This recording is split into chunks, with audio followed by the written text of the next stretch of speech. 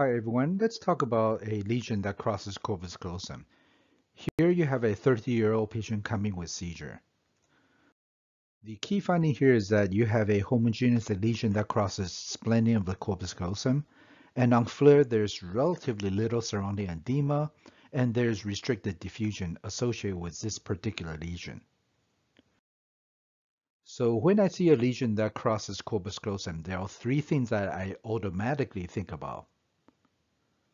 I think about CNS and lymphoma, infiltrating glioma like GBM, or tumefactive demyelinating lesion like tumefactive MS. As a generalization, there are some enhancement patterns that we can follow to distinguish those lesions from one from the other. For example, classically, CNS lymphoma tend to present with a homogeneous enhancement without a lot of central necrosis. Notice that there's a second lesion in the left basal ganglia also shows homogeneous enhancement.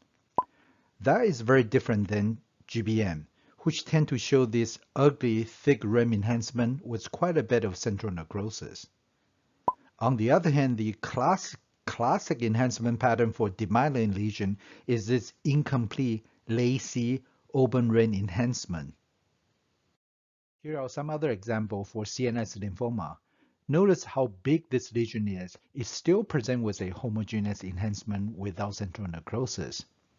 These GBM tend to present with this thick, ugly peripheral rim enhancement with quite a bit of central necrosis, whereas tumefactive MS tend to present with this open rim or incomplete rim enhancement or some people refer to this as a horseshoe rim enhancement pattern.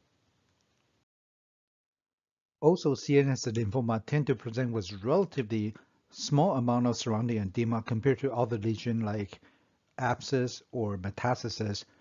Those lesions tend to present with quite a bit of edema. As far as uh, lymphoma or infiltrating glioma GBM, any type of hypercellular tumor will have restricted diffusion that's associated with the enhancing portion of the viable tumor.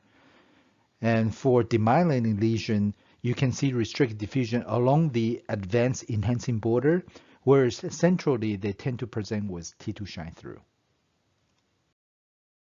So for our case, the key finding here is a homogeneous enhancing lesion crosses corpus callosum relatively little surrounding edema with hypercellularity. This is CNS lymphoma, and this is CNS lymphoma in an immunocompetent patient. The caveat is that in an immunocompromised patient, such as in this case of AIDS patient with CNS lymphoma, the lymphoma will present with a rim enhancement with central necrosis.